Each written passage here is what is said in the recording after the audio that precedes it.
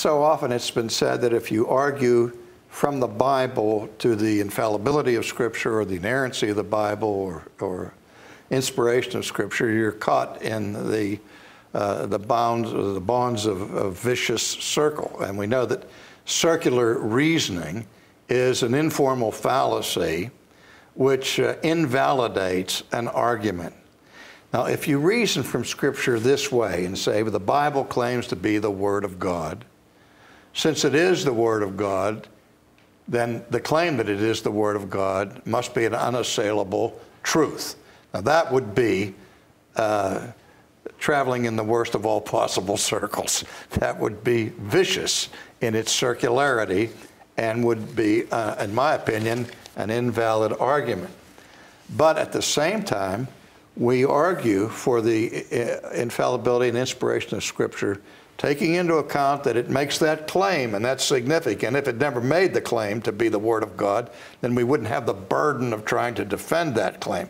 But we start with Scripture, and I, I like to start here and ask the question can we go to the New Testament, for example, and see it as a basically reliable historical source?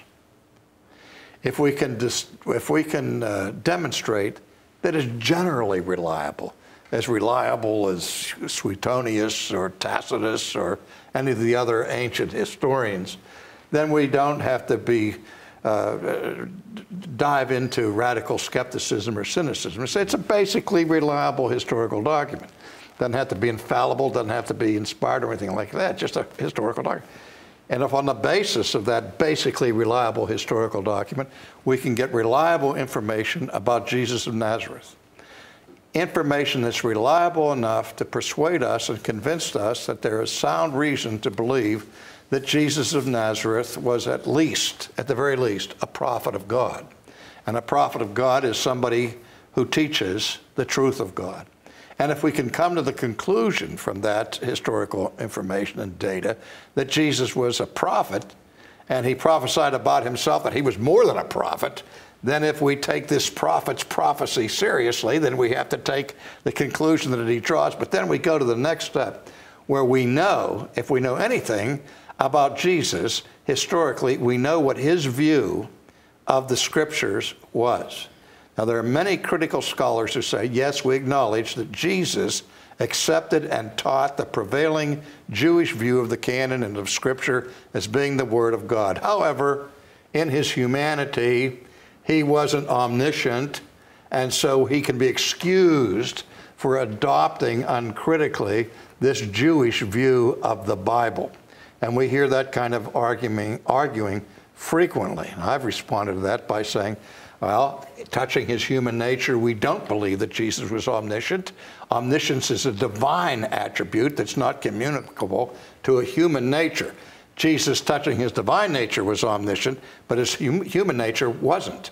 So, in, in that regard, he could be capable of, of not having absolute perfection, perfect knowledge. However, Jesus claimed that he taught nothing except that which he received from the Father, and that all that he taught had the imprimatur from the Father.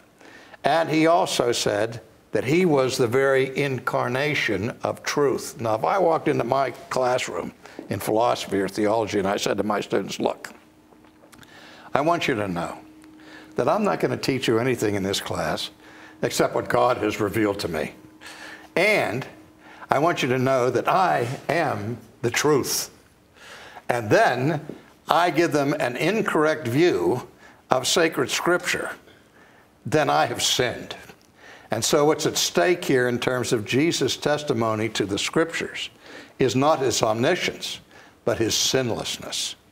And so, Jesus must be correct in all the things that he claims to be true, or he sins. As the scriptures themselves tell us, that he who, not many become teachers because with the, the teaching comes the greater judgment and so on. So do you see how we've moved yeah. from a basic premise of general reliability to a knowledge of Jesus' historical view that the scripture is more than general reliable.